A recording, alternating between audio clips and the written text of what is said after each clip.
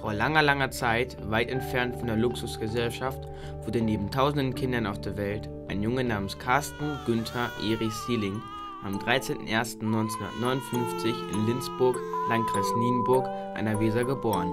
In der 900 Seelengemeinde war der Nachwuchs herzlich willkommen. Aufgewachsen ist Sieling auf dem Bauernhof seiner Eltern. Mit 20 ergriff er die Landflucht und zog nach Hamburg für sein Studium. Nach seinem Abschluss in Wirtschaftswissenschaften heiratete er und hat mittlerweile drei Kinder.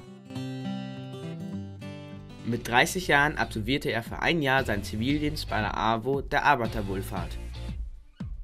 2009 ging es für ihn als Abgeordneter des Bundestages für die SPD in die Hauptstadt Berlin.